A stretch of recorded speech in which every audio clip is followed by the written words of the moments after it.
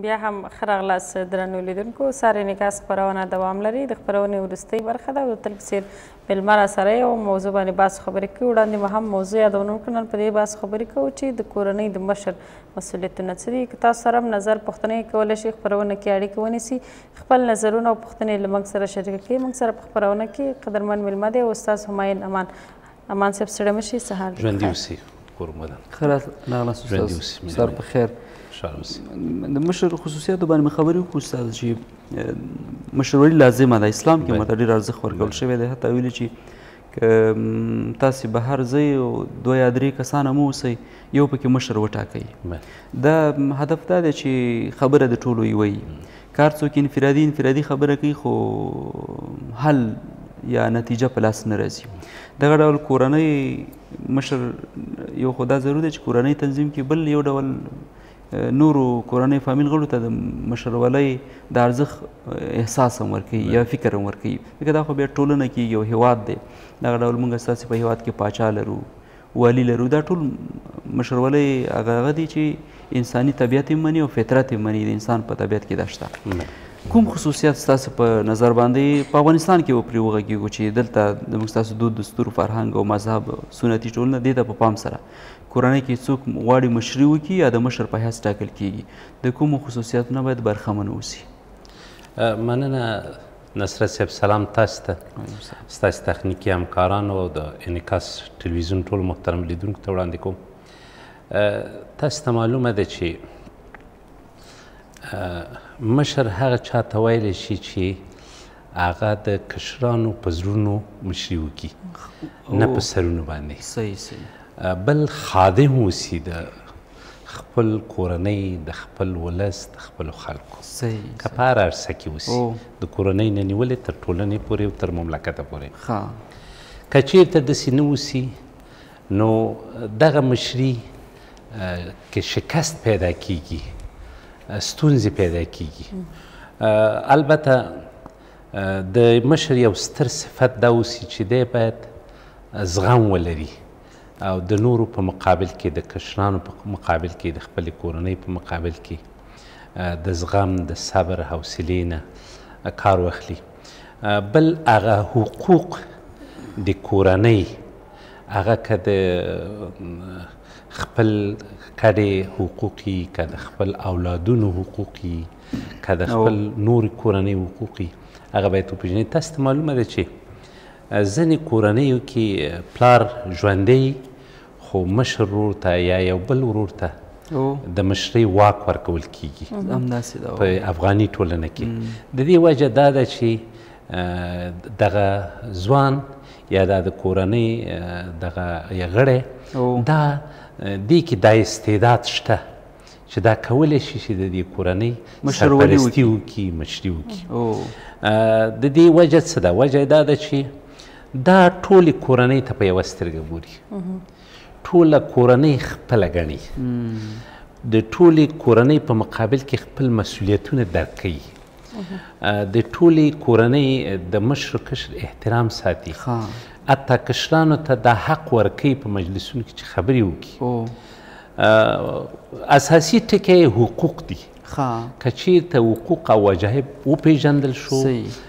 د مشر کولی شي چې دا مشري وکړي در غیر د هغې نه په کورنۍ کې حرج مرج ستونزې پیدا کیږي او مجبور دی چې یو کورنۍ یو خواته لاړ شي بالاخره خپګانونه او تشویشونه او دغه شکستګیګانې دا شان پیدا شي په کورنۍ کې بیرته راځو ستاسو ستا حلیمې سي موږ سره په اړیکه کې دی د دا اړیکه مې ځوابوو سلام ستړي مه شئ خپرونې ته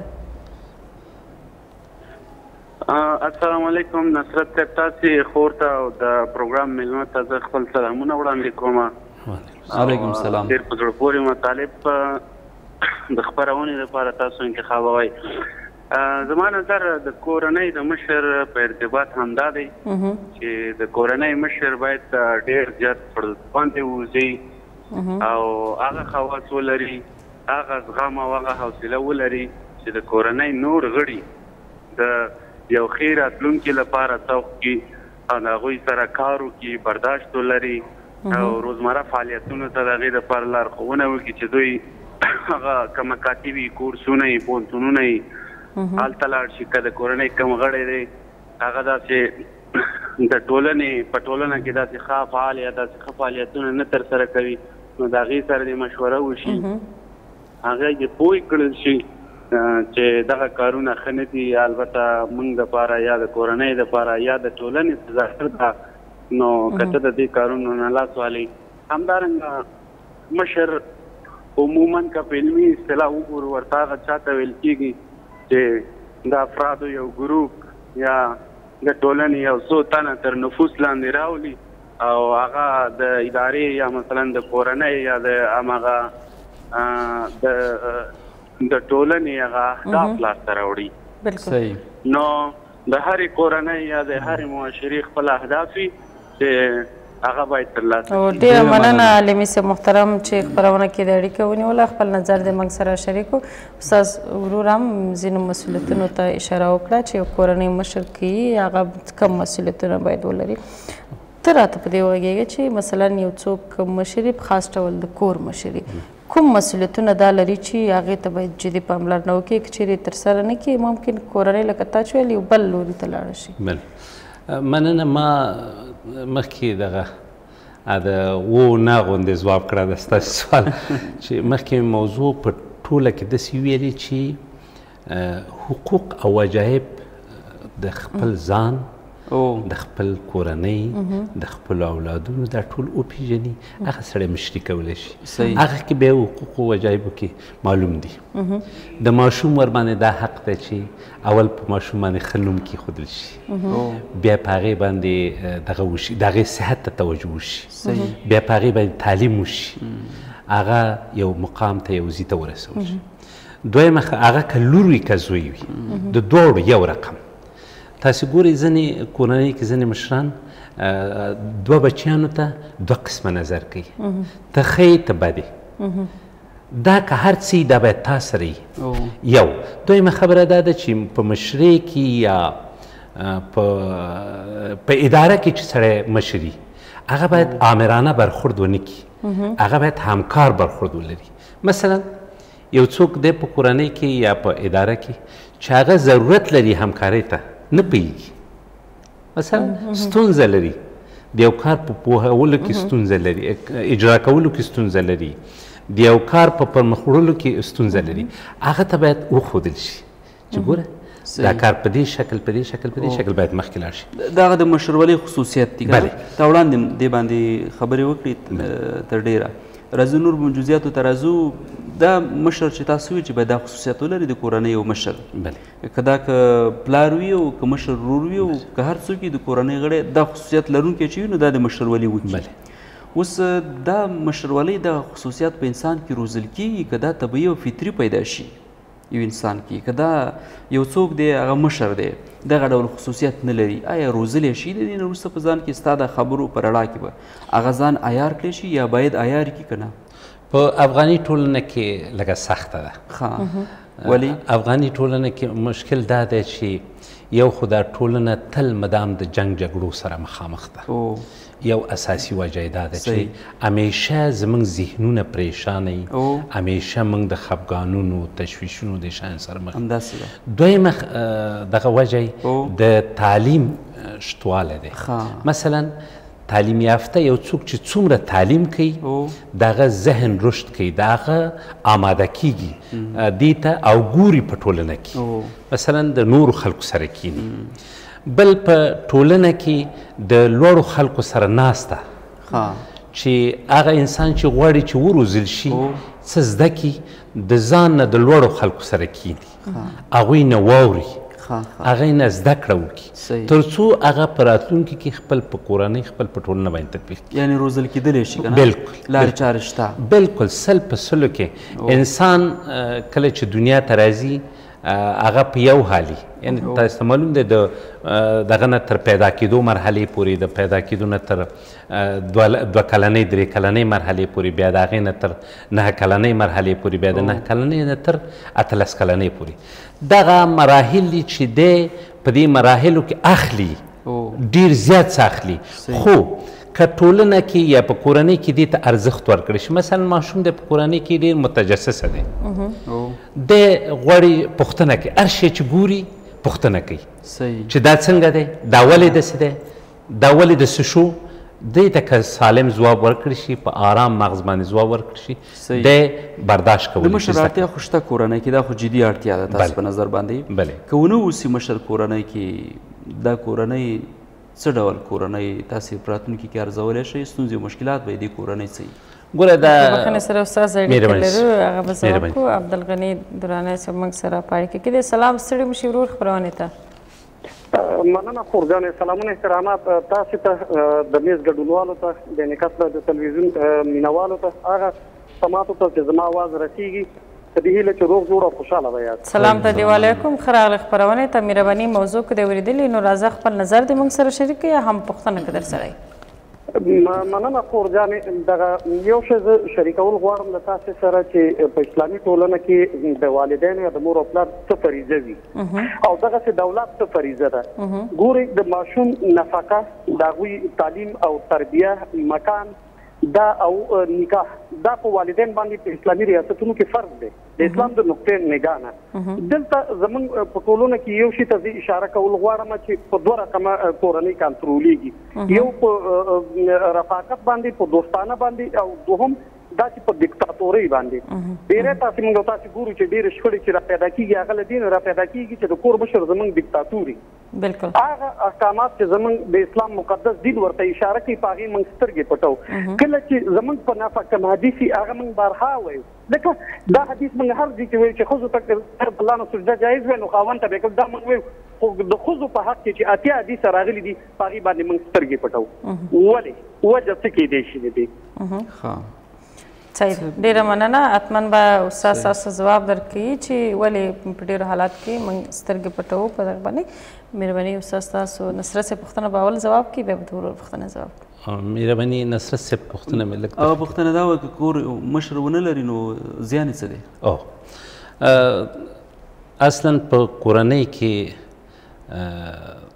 د الله تعالی په د د امر په اساس باندې دا فامیل چې تشکیل شوی دی دا همدغسې ګورې اول پلار دی بیا مور ده بیا مثلا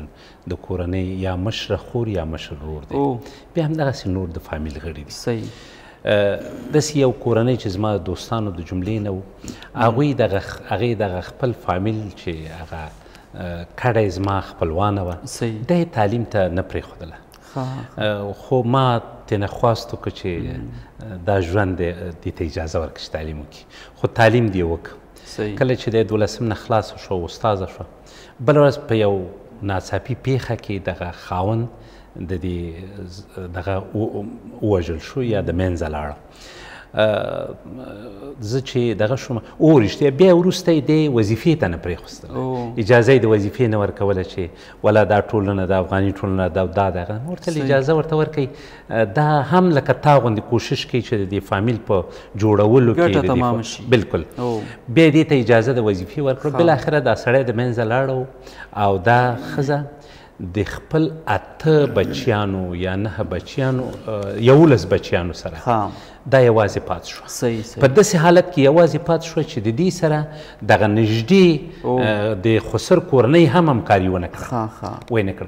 بالاخره دغې ښځې خپله دا سرپرستی په غاړه واخیسته بالکل دا امې وظیفه اجرا کوله امې د خپل لورګانو امې د خپل زامنو سرپرستی وسې هغه زامنو ته هم ودونه کړي دي هغه لورګانې هم ورکړي دي او همدا اوس هم په خپله کورنۍ کې یو ډیر ښه محبیت لري صحیح. یو ډیر ښه اعتبار لري د ورور د دیکتاتوري خبره وکړه واقعا چې دیکتاتوري په یو ټول کورنۍ کې دا د کورنۍ د پراګندګۍ او د کورنۍ د خپګان سبب ګرځي خو لږه دغه یا مثلا سرزنش چې ورته وي په دری کې سرزنش ورکول خپل کورنۍ ته مثلا ستا کورنۍ د مکررا ورته وایي چې دا کار مه کوه او هغه بیا هم ستا د خلاف د نظر یو دغه ته باید هغې سره هغې سره باید لږ تندی تریو کی سړی لک ځان تینا کناره ونیسی چې زه تانه خپه یم په دې معنی نو دغه په خپل سرزنش دی هغه انسان دی یعنی کورنۍ کې کوم مشر نه نو مشکلات سره مخامخ کېدلی شي تیتو پراګندې نو کوم خاص پلان کورنۍ چې مشر ونه لري تاسو وګورئ یا ضعیف مشر ولري چې هغه مشر نشي کولای چې دا کورنۍ اداره کړي ا کورنۍ تکت کوټوټي ټوټي او پاغي کورنۍ کې د ځانځاني پکې ډیر زیات ځانځاني ډیر زیات ستونزې د خپلوانو سره روابط قطع کیږي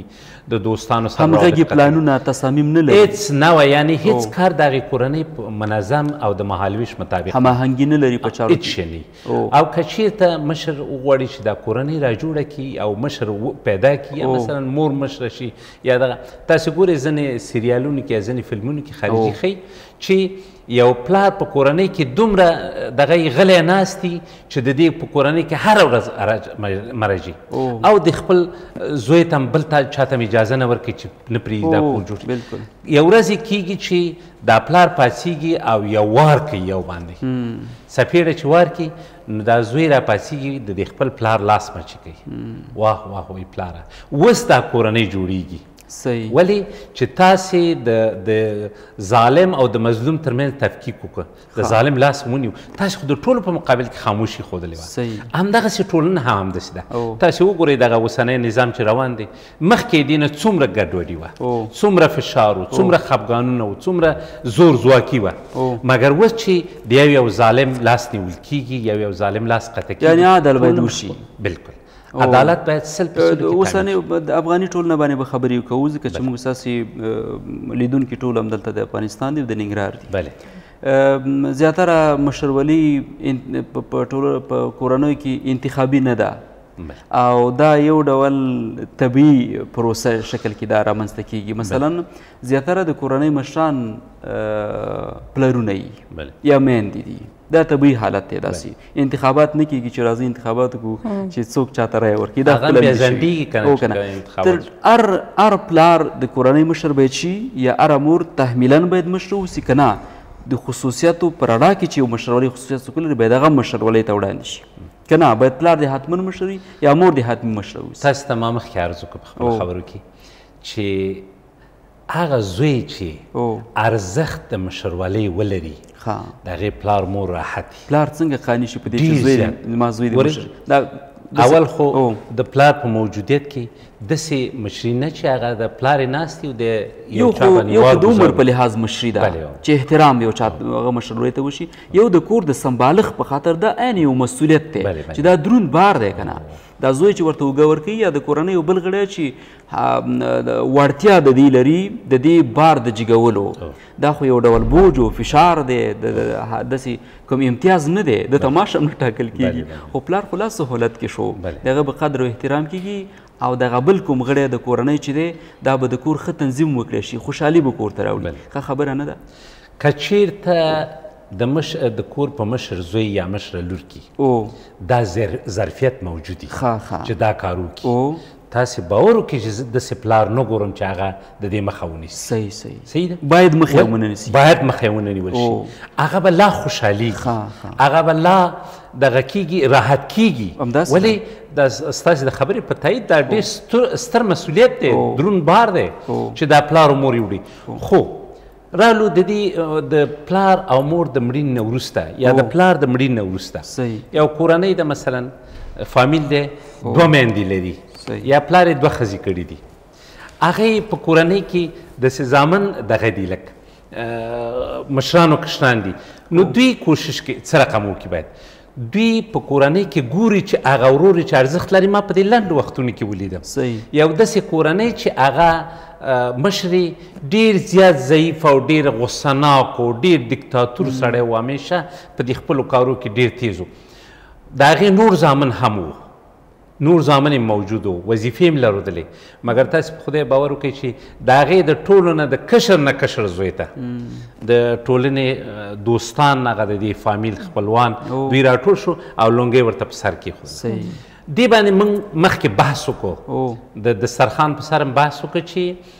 دا خو اوس د هلک ته لازمه ده چې د پلار لونګۍ په سر یو ورور ته کېښودل شي دا چا ته باید کېږدو ما دا بحث واچو منځ ته په دې باندې خبرې وشوې فلانی ښه دی بستانی ښه دی ما له تاسې لږ چورت پکې ووهئ چې کوم یو ښه دی ما ته خو دغه کشر ډېر ښه ښکاري وړتیا لري وړتیا لري ټولو ویلی چې واقعا دا دا کشر د ټولو کې دا مشران خفه نه شي مال نه هغوی به قانع کړو هماغسې وشو چې هماغه کشر نه کشر ته لونګۍ د پلار په سر کېښودل شوه د کور مشري ور په غاړه شوله نو د کور مشري د سي میراثي نه ده د کور مشري د سي دغه نه باید نه وسی موږ خبره باید نه وسی د یاره زه خو فکر کوم په افغاني ټولنه کې وسم په سلو کې څلويخ فیصد هم نه ده پاتې دا خبره چې یو څوک په زبردستۍ سره د کور مشري په غاړه واخلي یا ځان مشر وګڼي هغه کوشش کوي چې دې نه اوږه سپکه کړي ولې دلته نورې خبرې هم دي تاسې ګورئ چې هغه د پلار نه چې کوم پاتوشیني پاتې کېږي اولادونه د هغوی مسولیت د هغوی مثلا اکمالول د هغوی دغه لباس پوره کول صحت د ټولو شیانو نو هر یو کوشش کې خو هغه څوک چې دا مسولیت ور په غاړه اچول کېږي یا د کورنۍ د خوا نه یا دوستان د خوا نه په تاسو پوه شئ چې دا د کورنۍ هغه ډېر ښه او ډېر هغه نمونه دغه د ځوان دی او دی کولی شي چې دغه مسؤلیت نه وځي نو دا باید زموږ یو بل بل خصوصیات چې زما په نظر به ډېر مهمي تاسو به لږ تفصیل باندې په دې باندې خبرې وکړئ د کور مشر یو خصوصیت وایي باید دا ولري چې لږ د غټ زړه خاوند وي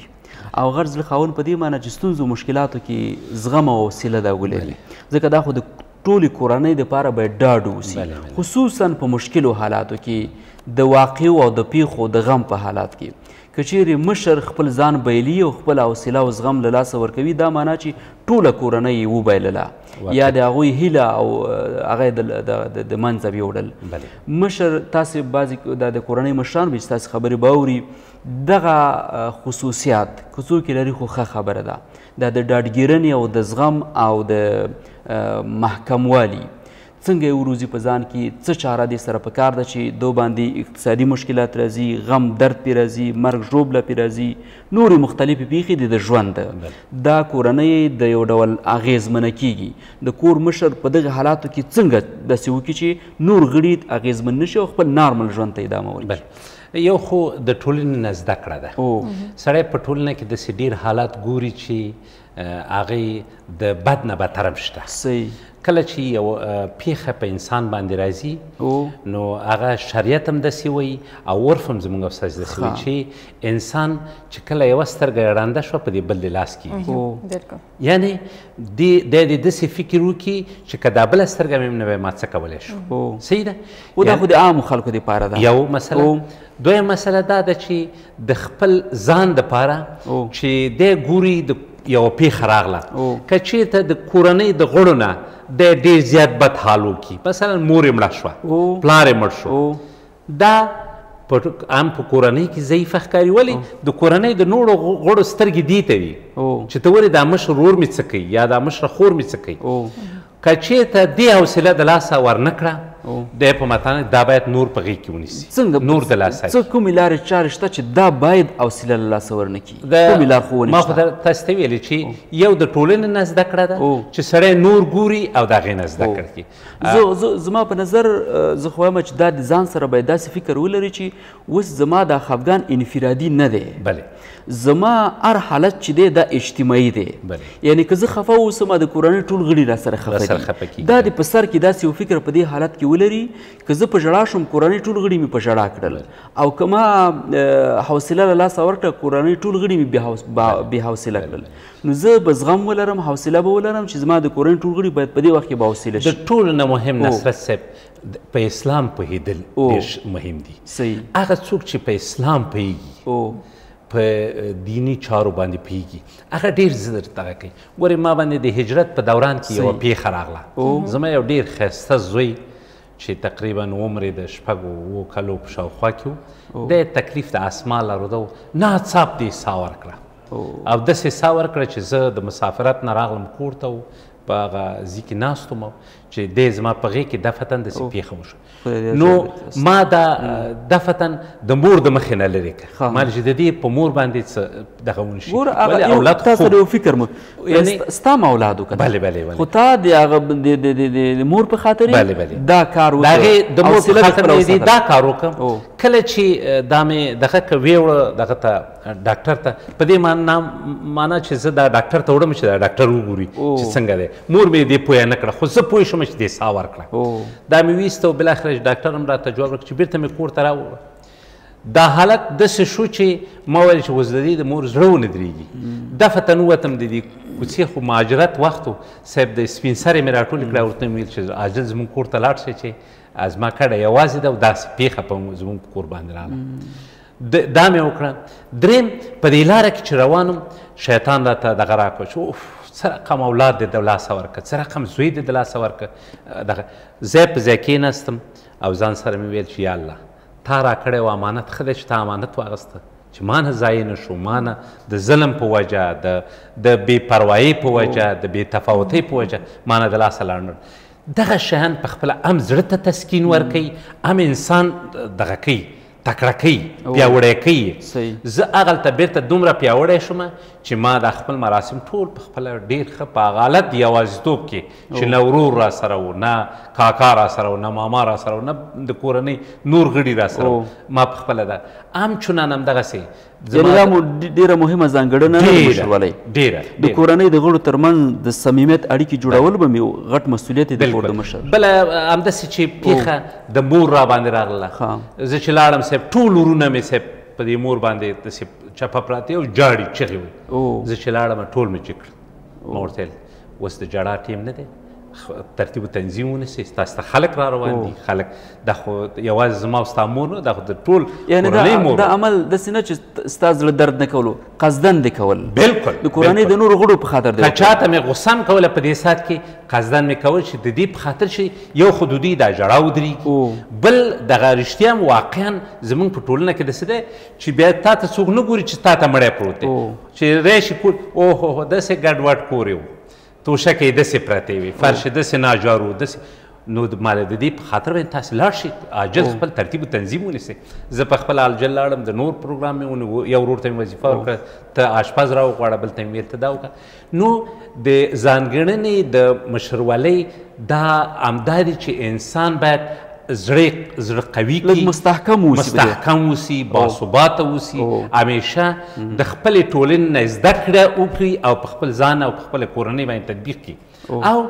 خوشخویه او خندانه اوسئ سو همدلته زه یو پوښتنه هم لرم استاد په بخښنې سره چې د یو خوشاله کورنۍ لپاره د کورنۍ مشر څومره مسؤلیت لري څه باید ترسره کړي ډېر په لنډو کې د یو خوشاله کورنۍ لپاره همیشه باید مشر د کورنۍ مشر ډیر ستر زغم ولري مثلا یو ډیر غټه موضوع ګوري په کورنۍ کې د هغه سات احساساتي نشي هغه سات موضوع پریږدي بیا هغه کس چې کم ګناه کړی دی یا کم دغه کړی خطا ته نه شوی دی یا سهو ته نه شوی دی هغه د په قرار پوي کی دغه په دغه شکل باندې یو بل د کورنۍ هر غړی د خپل د زړه ټوټه وګڼي ما تاسو ته مخکې ویل چې داسې ونه کې چې یو ته وي ته ښه یې ته بد ته زوی مې ښه کار کوي هغه زوی مې ښه کار ته لور مې ښه کار کوي دا نه دا نه دستي ټول ته په یو نظر باندې یو نظر توپیری چلنونه کی ډیر زیات مننه مینه ښکارا کی په کورنۍ کې د ټولو سره مینه ښکارا کی خو د کورنۍ د غړم داسې نه ده چې سل په سلو کې الا بلا د ګردن ملا شي مرسته به ورسره کوي کورنۍ غړي باید د مشر ته سره همکاري وکړي د دې مشر اوس مثلا یو پلار د سپینګیرا شوی د بخنه غواړم ستاسو وخت مې دغه شوی دی او هغه کور ته راځي هغه ضرورت لري چې دې ته یو ګیلاس چې یا یو پیاله یخې اوبه دا راوړل شي کې چا خبره اوس دی هغه د زړه خبره وکړه نو خبره په دې کې دوی سره کده سي ونشي طبعا هغه د مشر زړه ځورېږي چې وګورئ زه څومره خواري کوم او دلته په کورنۍ کې ماته ډېره زیاته مننه استاد محترم چې راغلې خپرونې ته زموږ او د لیدونکو پوښتنې دې راته ځواب کړلې نو د خپرونې وخت بیخي پای ته رسېدلی د نن سهار انعکاس خپرونه همدلته پای ته رسوو تر بیا مو الله مل شه ښه ورځ ولرئ